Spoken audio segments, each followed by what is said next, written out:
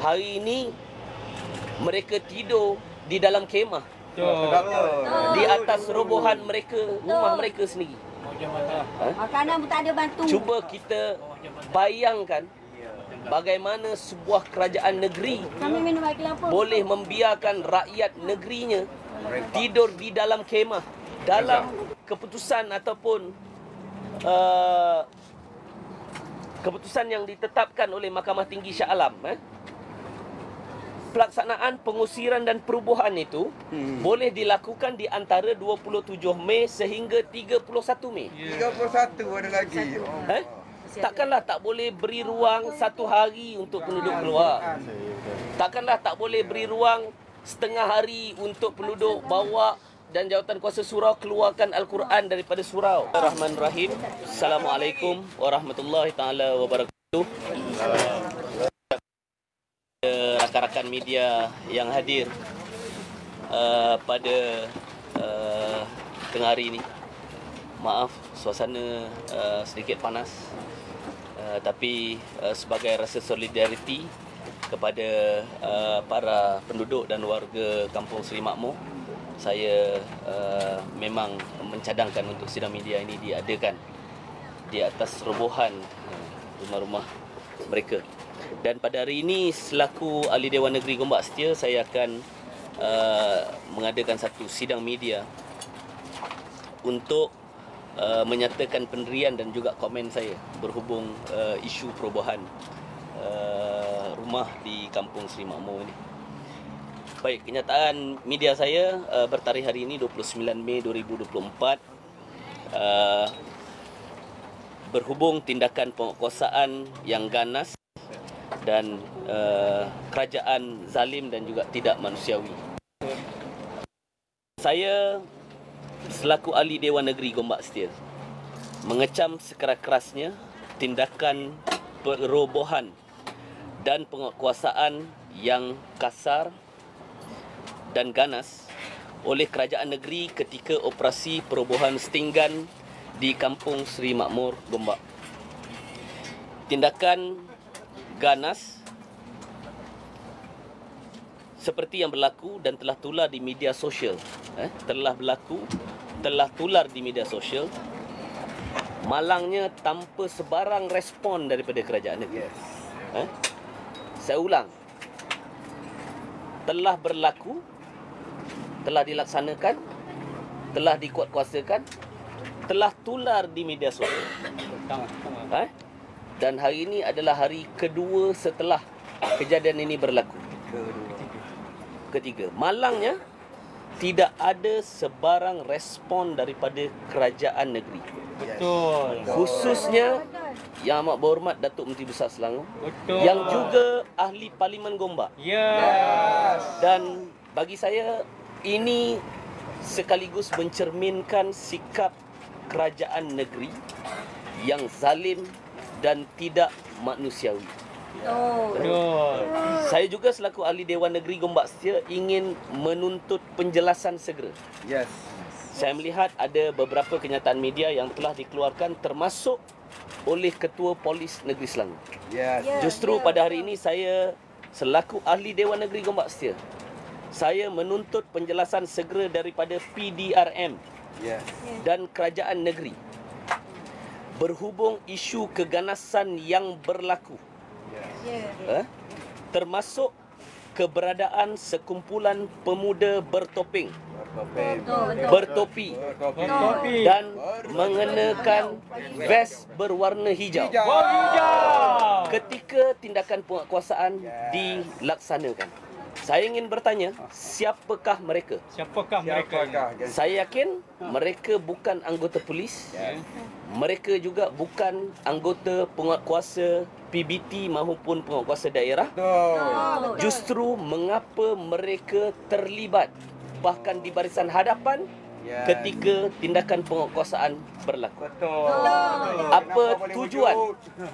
Kumpulan ini dan apakah peranan mereka dalam operasi penguatkuasaan yang dilakukan? Betul. Kerana kewujudan kumpulan ini telah menimbulkan provokasi, Yes, betul. pergelutan, Betul. pergaduhan Betul. sehingga mendatangkan kecederaan di kalangan penduduk. Ha.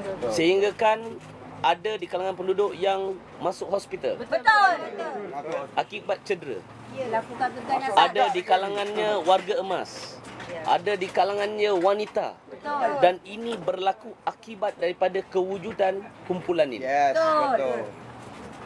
Lihat dalam beberapa video dan gambar yang tular di media sosial. Mereka ini bersikap ganas dan seolah-olah samseng dengan penduduk yang terlibat. Betul, betul. Laporan polis telah dibuat berhubung kumpulan ini Ya. dan saya minta supaya PDRM segera siasat perkara ini. Oh. Ha?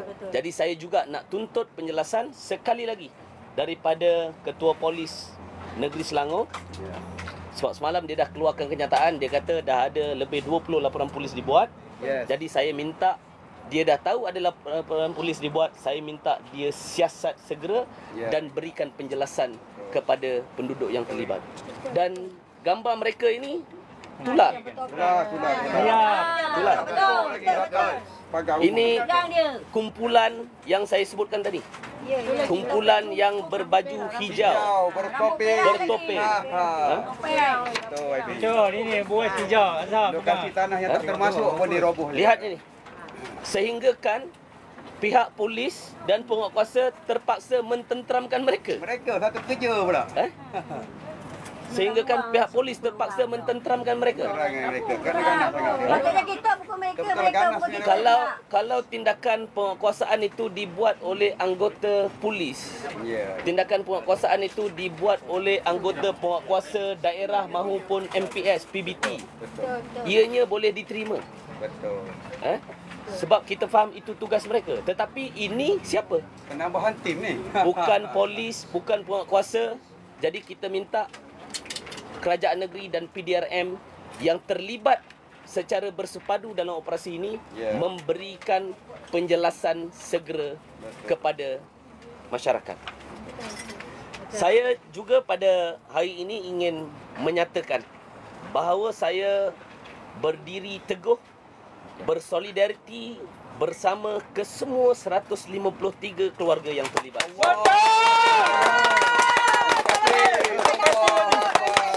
Saya yakin, saya yakin selaku seorang warga negara yang bertanggungjawab Ha, Eh? Laku warga. kita tidak pernah mengambil sikap anti pembangunan. Yes. Itu kita nak tegaskan. Kita tidak mengambil sikap anti pembangunan. Betul. Tetapi setiap pembangunan yang ingin dilaksanakan mestilah pembangunan yang hadir dengan tanggungjawab dan pembangunan yang berkualiti untuk menjamin kesejahteraan rakyat. Rakyat. Betul. Eh? Sebab itu pada hari ini dan sebelum ini juga saya ingin menyatakan bahawa saya sendiri telah membangkitkan dan menyuarakan isu ini dalam sidang Dewan Negeri Selangor pada November tahun lalu. Dan saya juga tengah mengambil tanggungjawab eh, untuk mengaturkan pertemuan di antara wakil penduduk dengan Datuk Menteri Besar Selangor Ya. dan beberapa pertemuan dan rundingan telah pun berjalan dan masih berjalan. Sebab itu ada beberapa penduduk 21 penduduk yang telah menerima, menerima tawaran. Tawaran betul. Betul. Eh? RN Dan juga RN seribu. Seribu ringgit. eh, uh, beberapa kali sebenarnya operasi perobohan ini telah berjaya ditangguhkan. Ya betul. Eh? Cuma kita kesal. Kita kesal dan kita kecewa. Yes. Kerana pada hari operasi itu dilakukan ianya dilakukan tanpa sebarang kompromi daripada kerajaan. Betul. Betul, betul. Sebab itu yang kita nak pertikaikan pada hari ini kemana hilangnya sikap peri kemanusiaan kerajaan negeri Hmm. Betul. sehingga kan penduduk dicederakan Ya. Sehingga kan surau diroboh sebelum sempat al-Quran pun dibawa keluar keluar. roboh. Ha? Sedangkan sedangkan dalam keputusan ataupun uh, keputusan yang ditetapkan oleh Mahkamah Tinggi Shah Alam eh, pelaksanaan pengusiran dan perubuhan itu Hmm. boleh dilakukan di antara 27 Mei sehingga 31 Mei. 31 ada lagi. Oh. Eh? Takkanlah tak boleh beri ruang satu hari untuk penduduk keluar. Takkanlah tak boleh beri ruang setengah hari untuk penduduk bawa dan jawatan kuasa surau keluarkan Al-Quran daripada surau. Takkanlah tak boleh beri penduduk peluang 2-3 hari untuk keluar. You ambil masa hanya satu hari untuk roboh kampung ini. Lebih masa. Ha? Lebih hari. You ambil masa Hari pertama Okeylah. hari satu hari setengah. Satu hari lah lebih kurang. Eh? Hari ni pun ha? Ada lagi. baru 29. Sembilan. Sembilan. Belum 31. Kalau you beri ruang 3 hari, hari ni baru start perobohan, you roboh lah. Tetapi you roboh dalam keadaan tergesa-gesa sehingga mengakibatkan kecederaan, mengakibatkan pergelutan, melibatkan penduduk, warga emas, orang tua, wanita, anak kecil dan yang paling zalim Ya, ya. rumah ibadat juga dirobohkan tanpa sebarang budi bicara. Eh? Sebab itu atas nama kemanusiaan eh? saya nak tegaskan saya ini hanya nak bercakap atas nama kemanusiaan Kesiaan. sekali lagi atas nama Nama kemanusiaan eh? saya mendesak dan menggesa kerajaan negeri supaya segera membela nasib 132 keluarga yang tidak menerima pampasan ini. Ya. dan berilah perhatian dan juga pertimbangan kepada mereka dengan adil dan juga bertanggungjawab. Betul. Segera. Hari ini mereka tidur di dalam kemah Betul. di atas robohan mereka, rumah mereka sendiri. Makanan pun tak ada bantu. Cuba kita bayangkan bagaimana sebuah kerajaan negeri Kami minum air kelapa. boleh membiarkan rakyat negerinya tidur di dalam kemah. Repak ke sana sini. Saya tak naklah cakap macam Israel, Ya. macam Yahudi. Ha, tetapi itu melambangkan sebagaimana yang saya kata tadi, sifat tidak manusiawi ataupun bahasa mudahnya tidak berperi kemanusiaan. Ha, saya tak naklah cakap yang straightforward tu. Betul. Betul. Ha? Kita ni manusia. Kalau kita bayangkan yang terlibat tu keluarga kita, ibu kita, anak kita. Dan hari ini mereka terpaksa tidur di dalam kemah. Takkanlah sebagai kalaupun bukan sebagai seorang menteri besar, sebagai seorang manusia, Manusia. Sesama tak manusia. ada ke rasa empati ataupun simpati bila you melihat keganasan yang berlaku dan akibat daripada itu mereka duduk di sini. Mereka ini pengundi kamu, Ya. Amiruddin Syari. Rohingya ni.